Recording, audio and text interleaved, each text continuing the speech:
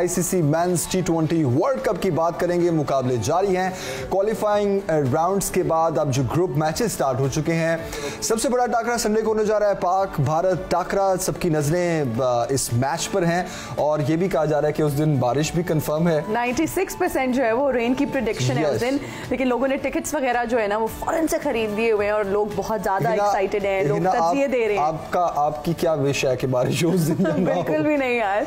मैं ये बिल्कुल नहीं चाहती कि बारिश हो क्योंकि लोग बहुत ज़्यादा एक्साइटेड है और हम जो है ना इस मैच को देखने के लिए अच्छा आप मैच देखने के लिए एक्साइटेड है? ओके वरना लोग तो जिन जिनके पास टिकट्स हैं वो ये दुआ इसलिए कर रहे हैं कि हमने जाके देखना तो जाके देखना था और हमारे पैसे जाया हो जाएँगे। पैसे जाया हो जाएँगे इरफान जहीर साहब हमारे साथ हैं उनको शामिल गुफ्तगु करते हैं और मैच पर थोड़ा डिस्कस करते हैं। इरफान साहब गुड मॉर्निंग आप खैरियत से हैं? जी अल्हम्दुलिल्लाह जी थैंक यू हो रहा है फिर मैच पाक भारत? दुआएँ तो सारे मेरा ख्याल है पहले यही करेंगे कि मैच हो। और अगर हो तो फिर पाकिस्तान जीते। अगर हमने नहीं जीतना तो बारिश ही होती। बारिश ही अच्छा इरफान साहब शाहीन अफरीदी ने स्क्वाड ज्वाइन कर लिया है। टीम पर क्या असर पड़ेगा? देखें ये एक ऐसा यूनिकनेस इसकी है शहीन शाह अफरीदी की कि ये शायद दुनिया में ऐसा बॉलर है जो अपने 80 परसेंट मैच के अंदर पहले ओवर में ही आउट कर लेता है।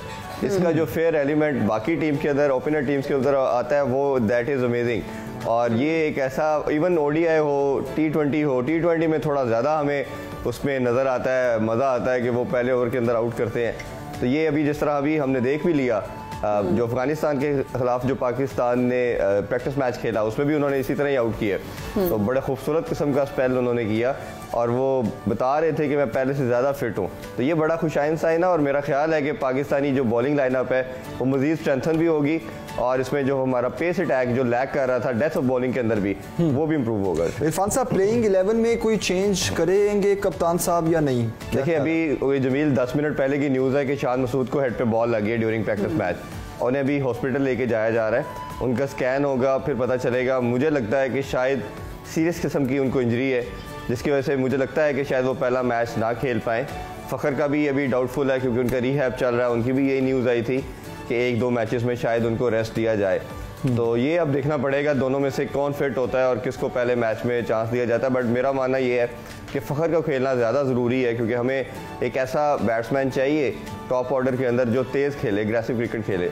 तो फ़खर ज़्यादा अप्रोप्रिएट है क्योंकि शान भी अच्छा खेलते हैं बट उनकी जो मेथड है खेलने का, वो सम हाउ बाबर और रिजवान जैसा है। तो हमें तेज़ खेलने वाला ज़रूर चाहिए जो नंबर तीन पे ही एटलीस्ट आके तेज़ खेले। इंडियन टीम को किस तरह देख रहे हैं आप? उनका प्लेइंग इलेवन मुझे तो ज़्यादा स्ट्रॉन्ग लग रहा है। हाँ उनकी टीम बड़ी बैलेंस नज़र आ रही है लेकिन उनको बुमराह का बहुत बड़ा इम्पैक्ट आएगा। उनकी बॉलिंग लाइनअप मुझे वीक नज़र आ रही है क्योंकि बुमराह भी नहीं है जडेजा भी नहीं है। और भारत कोशिश करेगा मुझे लगता है कि हर मैच के अंदर कि टॉस जीत कर वो चेस की तरफ़ जाएँगे क्योंकि उनका वीकर लिंक जो है उनकी बॉलिंग है। अभी मैं रवि शास्त्री की परसों एक स्टेटमेंट देख रहा था वो ये कह रहे थे कि शायद ये विराट कोहली का और रोहित शर्मा का last T twenty world cup और इसके बाद वो रिटायरमेंट ले लें। अच्छा। उन्होंने कहा कि हमने 2007 में बिल्कुल नई टीम बनाई थी जिसमें धोनी की कैप्टनसी में टाइटल जीता था उस टाइम गंगुली थे कैप्टन और फिर इसी तरह तेंदुलकर थे ड्रेवट थे बहुत बड़े नाम थे। बट हमने इसको देखा इंडियन बोर्ड ने समझा कि यंगस्टर की गेम है तो यंगस्टर इंडक्ट किए। तो ये सीनियर को हम एक लास्ट चांस या लास्ट गो दे रहे हैं। और मेरा ख्याल है कि ये उनका ठीक डिसीज़न होगा उनके बोर्ड का भी। और मेरा मानना ये है कि बाबर जैसे हमारे पास नंबर वन है स्ट्राइक रेट पे बात होती है, ये यंगस्टर की गेम है। इधर यंगस्टर को आना पड़ेगा स्टेप अप करना पड़ेगा और वो मेरा ख्याल है कि ये अभी एक उसकी प्राइम एग्जांपल देखें हम इंग्लैंड के अंदर जॉय रूट भी नहीं है उनके। साथ। और अभी हम देख रहे हैं कि सबसे बेस्ट बैट्समैन स्मिथ है। स्मिथ को भी ऑस्ट्रेलिया नहीं खिला रहा, वो डगआउट में बैठे हुए हैं मैचेस के अंदर। मोस्टली मैचेस में आप देख लें। तो ये अब जो गेम नज़र आ रही है टी ट्वेंटी जिस तरह की एक फास्ट मोड पे जा रही है तमाम टीम यंगस्टर को ज़्यादा बैंक करेंगी उन्हीं पर लड़ाई करेंगी वो।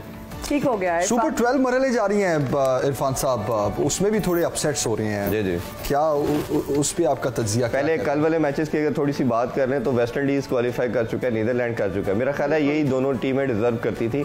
ज़्यादा अच्छी क्रिकेट खेल रही थी और मेरा ख्याल है कि अगर हम चारों टीमों में से देखें तो इन्हीं का बनता था सुपर ट्वेल्व में आना। और आज भी इसी तरह दो टीमें क्वालिफाई करेंगी। ये भी बड़ा ज़बरदस्त किस्म का ग्रुप बन चुका है। इस पूल के अंदर भी दो टीमें जाएँगी और दोनों टीमों में से जो आज विनिंग टीम होंगी वो आगे क्वालिफाई करेंगी। और आज हमें पता चल जाएगा कि कल से जो सुपर ट्वेल्व के मैचेस होने जा रही हैं कौन सी चार टीमें होंगी दो तो हमें कल पता चल चुकी हैं और आज भी रिमेनिंग टू टीम्स का पता चल जाएगा। तो मेरा ख्याल है कि कल से एक बड़ा ज़बरदस्त किस्म का प्रॉपर जिसे कहना चाहिए वर्ल्ड कप का आगाज़ हो जाएगा। ठीक हो गया। इरफान साहब मारूफ भारतीय क्रिकेटर सचिन तेंदुलकर ने पाकिस्तान को सेमीफाइनलिस्ट टीम्स में शामिल किया है। किस तरह से देखते हैं आप? क्या समझते हैं कि कौमी स्क्वाड जो है हमारा कितना बैलेंस्ड है? देखें वसीम अकरम ने भी यही कहा सचिन तेंदुलकर ने भी यही कहा। देखें ऑन द गिवन डे जो अच्छा परफॉर्म करता है वही जीता और टी ट्वेंटी तो बहुत एक किस्म आप समझ लें कि बहुत अनप्रडिक्टेबल किस्म की गेम है। हम्म। एक आधा स्पेल किसी का आउटस्टैंडिंग हो जाए किसी की बैटिंग के अंदर कोई दो चार ओवर अच्छी हिटिंग हो जाए तो गेम दूसरी टीम से ओपोनेंट से अवे हो जाती है। आ, बिल्कुल उन्होंने ठीक कहा। अगर आप स्टैट्स की बेस के ऊपर बात करें तो मुझे भी लगता है कि पाकिस्तान इंग्लैंड ऑस्ट्रेलिया और या इंडिया या साउथ अफ्रीका इन दोनों में से कोई एक ये पाँच टीमों में से चार तो मुझे नज़र आ रही हैं कि चार कंफर्म जो आएँगी सुपर सेमीफाइनल के लिए ज़रूर क्वालिफाई करेंगे। But hmm. अगेन ये कंडीशन ज़रा डिफरेंट हैं थोड़ा सा इसमें हर दिन आपको डिफरेंट तरह की एनवायरनमेंट मिलेगा। बारिशों का भी सीज़न चल रहा है उधर का। और ये भी एडजस्ट होना ज़रूरी होगा। और हर टीम के माइंड में ये ज़रूर एक चीज़ होगी कि आपके ओवर जो हैं वो करटेल कर दिए जाएँगे। हो सकता है कोई मैच दस ओवर का हो कोई आठ का हो कोई बारह का हो तो ये चीज़ रख के आपको अपनी गेम प्लानिंग करनी पड़ेगी।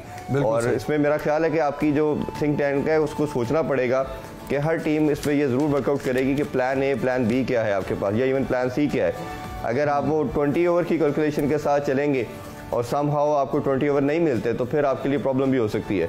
और कंडीशन के हिसाब से अपने बॉलिंग लाइनअप को भी चेंज करना, और मेरा मानना यह है कि इधर फ़ील्ड प्लेसिंग बहुत इंपॉर्टेंस रखती है। हम हमेशा बात करते हैं बैटिंग और बॉलिंग के अंदर।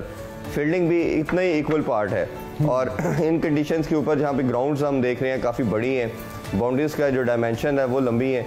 तो उसमें फिर आपका जो डे लाइट मैचेस हैं डे नाइट मैचेस हैं उसके अंदर आपको कैचिंग थोड़ी मुश्किल होती है ऑस्ट्रेलिया के अंदर। हम्म। तो फिर उसमें ये है कि आपका ऐसे फील्डर जो बाउंड्री के अंदर अच्छे फील्डिंग करते हैं उनकी प्लेसमेंट बड़ी इंपॉर्टेंस रखती है।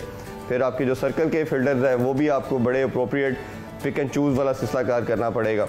तो ये ओवरऑल एक पूरा कम्बिनेशन डेवलप करना पड़ेगा। हमने अपनी दो सीरीज़ जो लास्ट आ रही है एशिया कप का फाइनल की बात करें इंग्लैंड के खिलाफ बात करें तो मुझे लगता है कि प्योरली हम अपनी फील्डिंग की वजह से हारे हैं। अगर हमारी फील्डिंग हम्म। थोड़ी सी इंप्रूव होती तो शायद रिज़ल्ट थोड़े डिफरेंट होते। तो ये मेरा ख्याल एक ऐसा एरिया है और इसमें कहा जाता है कि फील्डिंग एक ऐसी चीज़ है बैटिंग और बॉलिंग तो चले एक टैलेंट के बेस पे होती है।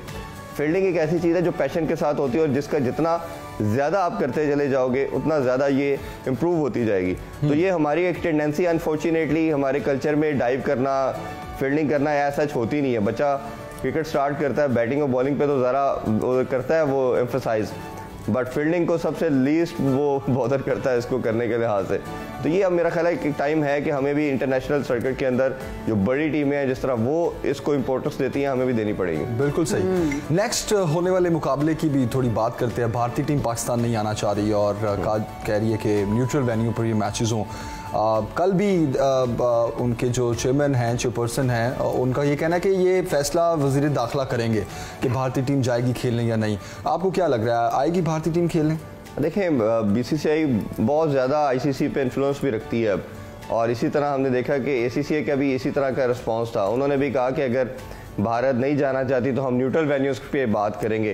तो ये बड़ी एक अनफॉर्चुनेट किस्म की स्टेटमेंट थी उनकी तरफ़ से कि वो उनको न्यूट्रल वेन्यू की बात करनी नहीं चाहिए थी और इस मसले में भी न्यूट्रल रहना चाहिए था।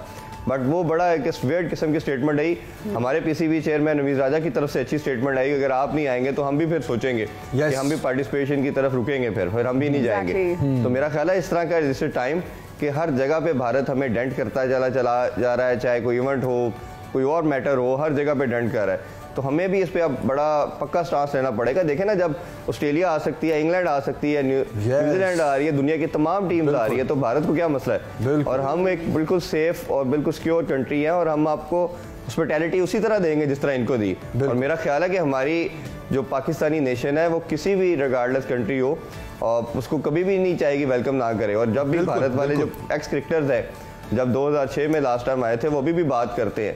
कि हमें जो हॉस्पिटैलिटी पाकिस्तान में मिली जो वेलकम हमें इधर मिला वो हमें दुनिया के किसी कंट्री में नहीं मिला। मुझे खुद याद है कि मैच देखने गए थे तो जब इनकी टीम ग्राउंड की तरफ़ आती थी दुनिया सारे रस्ते में खड़े होकर इनके लिए क्लैप करती थी। बिल्कुल ऐसे ही इरफान साहब बिल्कुल। Thank you very much Irfan साहब वक्त खत्म हो गया और वरना और बाग भारत टाकरे में बात करते क्योंकि ये तो एक ऐसा जिस पर दिल करता है कि हम बात करते ही रहें। थोड़ा भारत को जो है वो हम जगाते भी रहें कि ये जो सरहदों की हमारी डिविजनिंग है उसको स्पोर्ट्स में ना लाया करें। कम अज कम स्पोर्ट्समैन स्पिरिट दिखाना चाहिए।